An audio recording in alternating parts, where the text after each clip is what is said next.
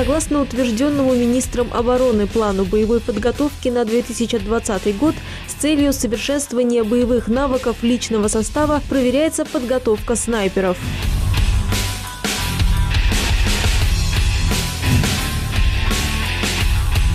Снайперские группы совершают марши на большие расстояния, занимают выгодные позиции, проводят маскировку позиций и разведку местности, устанавливают ложные снайперские позиции, а также выполняют одиночные и групповые стрельбы по целям на различных расстояниях.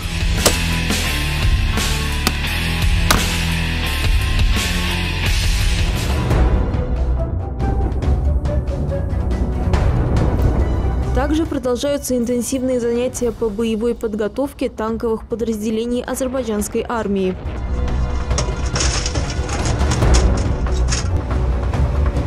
В ходе полевых занятий проверяются навыки и слаженность экипажа и выполняются боевые стрельбы в дневное и ночное время по движущимся целям условного противника.